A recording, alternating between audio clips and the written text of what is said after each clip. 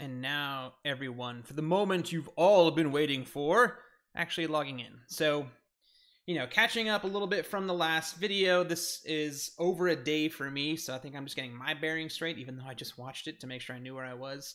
You know, we had had to do a decent bit of laying some groundwork for this fresh boilerplate to finally get to this point. We talked about the double folder auth structure or routing structure, just because it's important to know how to stack routes on routes on routes and imagine them as like this diverging path of trees that you can customize. Talked about how we can use this nice bcrypt library to handle a lot of the hard work for us for generating our secure, salt, and hashed passwords. We had talked about the pizza routers being something arbitrary, whatever you intend to protect at some point in time, no matter how dumb and simple it is. Um, yeah, like we we had talked about quite a bit, and we had written uh, this queries here for our users table to include an insert from when we talk about how to write our own registration route, which we'll get to after making a login attempt. And we also talked about this one little find function here that'll be interesting to to teach you all how it ends up working. So, you know, should be fun. Okay, so back over here. We're finally over here. We should be able to get this email and password. Me personally, I always like to like console log or potentially not just console log, but like kind of echo my routes back to me because before I, yeah, see, I forgot to wire up to my auth index here. Good thing I was talking about this. So I always like to test a default response, whether it's like my pizza router that has nothing more than a pizza time message appear, or my login router simply echoing back my request body back to myself. I'm using it kind of like a pseudo console log to test my endpoints, their paths, and their methods before I begin attempting to build out that logic. So I was talking about that. It's a good thing I had looked because I went over to my auth folders index entry point and I realized I have yet to make the login router on any kind of path for this project. So let's give it a shot. So I'm going to say route, this router is going to use on the path of login the logic of the surprise login router like so. Very nice. And I'm going to go collapse these folders and look into my route index file. And yes, I do have the auth path here. And I believe we had left off with our server having what we expect, which is something's wrong with my coloring here because normally my variables have color, so my VS Code's acting kind of funky. So we'll see what ends up happening here. Hopefully everything is okay because I'm used to my extensions color coding these brackets here. So you know what? I'm going to close this out of uh, curiosity and attempting to open VS Code again, see if it changes and those extensions kick on. Which they Oh, there we go. Yeah, I knew something was off with my extensions. That was odd that my VS Code extensions were kicking on. My TS features are now kicking on as well. So that was peculiar to say the least. But sometimes VS Code does have that bug. So if y'all run into it, now you know exactly what I would do in the situation going, something seems off about my VS Code extensions. Have you tried turning it off and on again? Classic IT crowd reference. Um, and it worked. So go figure. Okay, so my routes are connected. My routes index file has the API and auth routers. My API index has the pizza router, which has a GET request that we're going to be pretending is anything we care to protect at some point down the line. And we have our auth index that has our login router, which is a post request to just auth login that should echo back our request body if there is one. So let's see how it all gets put together before I begin writing out more logic. Let's test this stuff out. So I'm going to go ahead and boot this sucker up. I'm going to let Webpack rebuild everything and re-output everything like so. I should get a successful build here, and looks like we are running on port 3000 and good to go. Let's see what happens. So I'm going to head over to my browser, not my browser, my Postman window now. So I'll be using Postman to test this. You can use the in-browser version of Postman, so you can feel free to use that if you don't have it installed on your computers but I believe this course recommends that you do, so most of y'all should. First thing I'm going to do is zoom in so y'all can read what's going on. I might save this to a collection later, so I'm going to collapse that window here to get that out of the way. And right now for this GET request, let's just go to localhost 3000 forward slash API forward slash pizza. All right, got my pizza time message, so I know that route is correct coded correctly. I'm going to make a new tab, drop down to post, localhost 3000 forward slash auth forward slash login, like that. I'm going to head to my body tab. I'm actually going to zoom this down a little bit. Raw JSON because that's the only body parser middleware we have right now on my server, that express.json. So the only thing we can test is this JSON stuff here. So I'm expecting to be my users to fill out a login component on my React website that has an email field and a password field. So let's do that. Password one, two, three. It is about lunchtime here at my house, and not for me anyway, but for my cats. And Percival decided to come say hello. Say hi, Percy. This is Percival Durolo III. And he is just wants lunch, so he's not exactly talkative right now or so playful. Are you, buddy? Good boy. He's to jump back on the desk and probably attempts to step on my keyboard, boop the microphone, or at least mess up my camera with his tail flipping around. He's got the message for now, but he's gonna he'll be back in a minute. He always is. He he lets me know when it's lunchtime. So now that I have this request body coded out in this JSON format, we're gonna click on send. And if it just sends it back to me, that's what I wanted to see. Now I know that my, I'm not testing per se, but I do have the things in place working as they should at a fundamental level, which means now I can begin going further with logic now that I know the groundwork is done, right? The the foundation of the house is set, now I can start building up.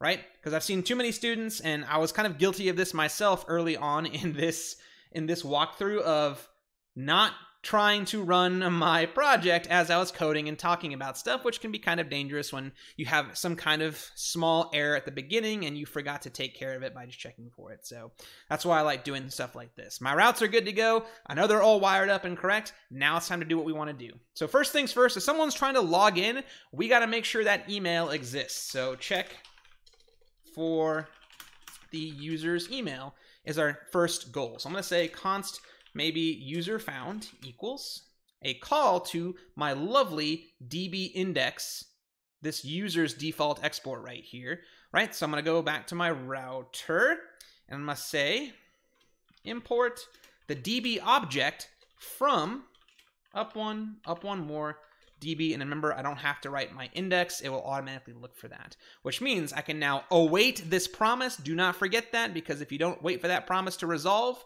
your code will just run synchronously and you'll get no response, at least not the one you expect. So we're going to write db.users.find. Now he's crying in the background instead of coming back. Go figure. So if you'll hear a cat meowing in the background, it's Percival telling me it is lunchtime. But I told him I had to make a video first, dude. So this find function currently doesn't do anything. So here's what we're going to be doing. I'm going to, first off, kind of use my res.json again as kind of like my console log. It's, I mean, you can console log if you don't want to if you don't mind hopping back to your terminal but i'm just going to use postman as kind of like my pseudo console log as i test this out step by step. So we got to find that email but we never actually wrote that query because i wanted to leave it to this video because to show you something cool. So we could write find that takes the email as a string as the argument and over here for our escape position, we could place the email in this escape array, because remember, this is for preventing SQL injection attacks. The MySQL library will take these values, confirm that they don't contain SQL syntax, and place them onto question marks in the order they appear in order to make sure that someone can't inject us with bad malicious code.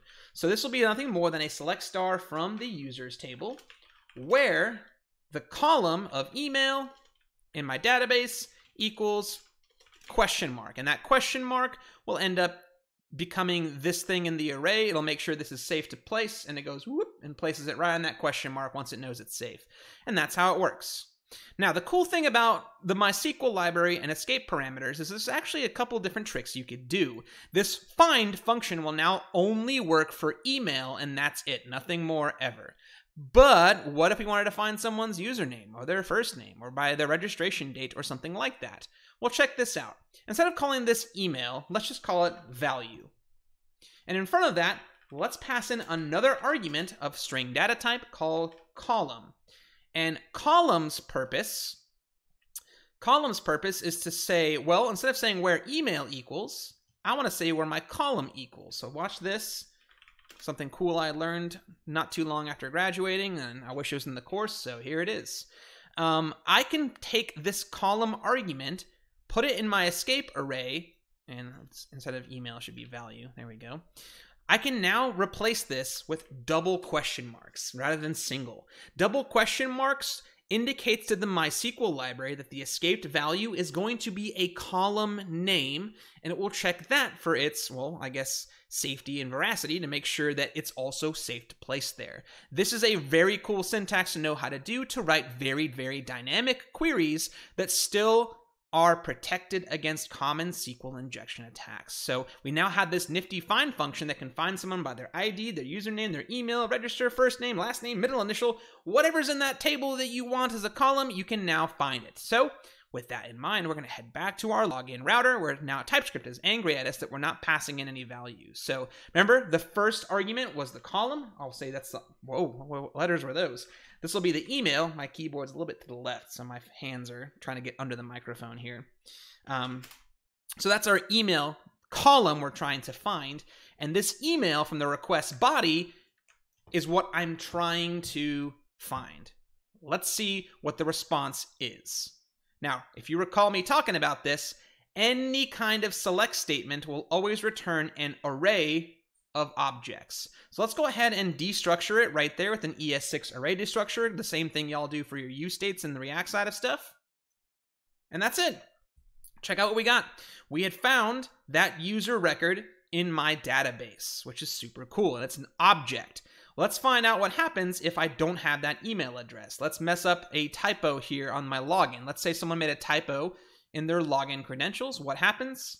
We simply get nothing, all right? Interesting, interesting, interesting. That appeared as nothing there in Postman. Let's see what that looks like in a console log. Maybe JavaScript will say null or undefined or something like that, whereas this response looks like nothing. Click on send here, we get nothing. Console logs, undefined. So it's an undefined value if we try and destructure from an array with nothing inside of it. It just gives us a variable whose value is undefined. And we can use that to our advantage because inside of if statements, undefined is considered falsy. So I can say if the opposite of undefined, which is true, and we can read this as if there is no record found, then we should either throw a new error like that that says invalid credentials or email not found or something like that so we can error handle it ourselves or if you wanted to get fancy you could say return so we stop all of our code running here a response status code of 401. The status code 401 means unauthorized. Send a JSON response that says message email does not exist or something like that. Or we can just say invalid credentials. I am of the opinion that keeping your error messages for something like this vague to not give hackers going, oh, okay, so I need to find this email. I mean, there are some workflows that you can get away with it. I like being vague at first and realizing if I need to have more custom error handling, I can always come back and change this. So if I had thrown a new error, it would have gotten thrown down here to this catch and follow this workflow. If you want a custom 401 message, this is how you can do it. And this is the advantage of not using a framework like Passport that has some opinionated and default responses in the sense that I can customize my responses as I see fit here with this logic as I go through. So let's give it a, sh- a shot. There we go. Invalid credentials. Let's fix the credentials by fixing the email. And it gets the record, so it goes that down that workflow. Okay, very cool. Next, because we have that user record, we have to compare the password they're trying to log in with, this thing right here, against the salt and hash in our database. And we have a handy utility function on that that we coded the other day from our passwords.ts file right here, where we had compare hash. We're going to pass in the rec body password against what's found in the database. So back to our login routers. And here we can either do it in one go or two. We can say, um, you know, if the user record is not found, or the, we'll say compare hash function. It should auto import that for me, which it did. I'm gonna organize these imports so my most generic ones on top and my specific ones are on bottom. Just me being a weirdo. I like organizing it in that fashion right there. Um, okay, we're gonna write that compare hash function because it returns a boolean to us, right? It should return a boolean to us, which it does. There's that TypeScript returns boolean. Uh, it's gonna take the user found dot password, compare it Nope, JKLMAO. It's going to take this password from the rec body first, which is that one right there. And then over here, it'll take the one in the database, which is user found password. So My bad on that one. Plain text password first, that comes from the rec body, the form they filled out. User found password is what comes from the database, right? That way we have to make sure that if the user is not found, bad credentials, but if that is true, then that's okay and skips that. But if this one is false, meaning the passwords don't compare, that means it's also a bad login. So down here, we can change this to say login successful since we know what the data looks like. And that way, if this appears when we expect it to, we're on the right path. So this is a completely valid login. So hold on to your butts.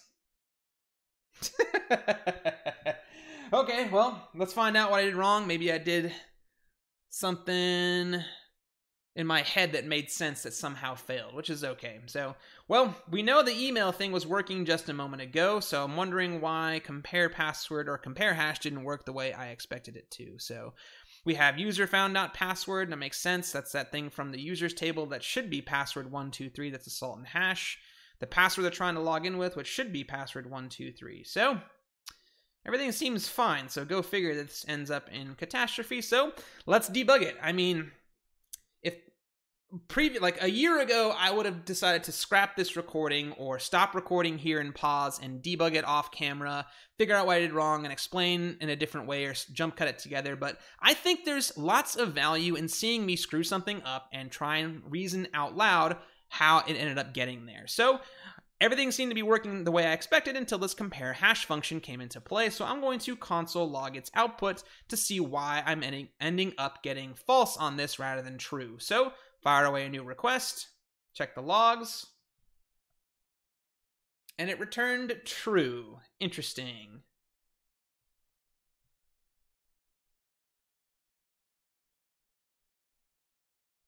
It returned true? Well, come on then. Hold on.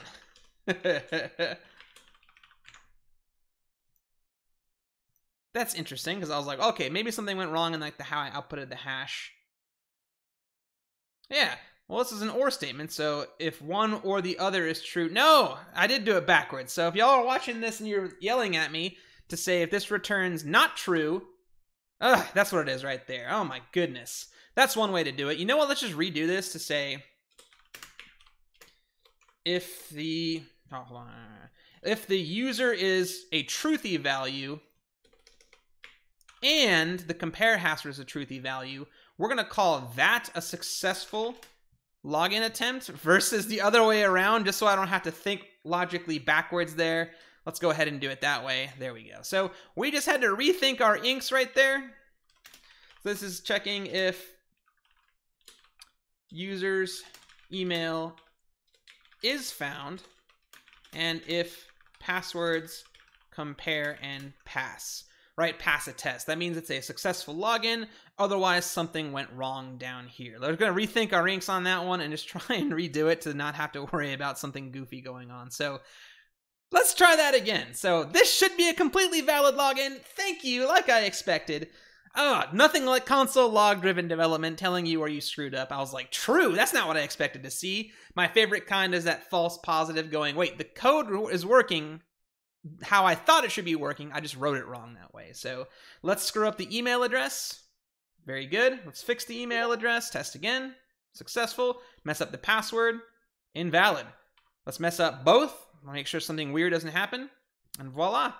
Put those passwords and email back. Test it backwards and forwards, leftwards and rightwards, upwards and downwards, Wonka ways, whatever Wonka way you can think of and we get login successful. And that's the important tidbit right there. That's it. That is all the login logic we really have to worry about. And that's how it's end up going to be working, right? That's how it's going to be working even with Passport or without Passport. It's fairly simple to wire up yourself, which is why I'm teaching y'all to do it this way without Passport first so y'all logically know how simple it can be. But again, like having to think of these conditionals and when errors happen and whatnot, Passport can help streamline some of that by abstracting logic out of here and be kind of nice if we had one line of code and that's it. But Ultimately, it's fairly simple to get up and working, but in the next video, we're going to talk about instead of sending just a successful login message, which doesn't really help us, instead, we're going to generate a token based on this user's information that represents, hey, this token says they logged in, that hotel key card, you've checked in,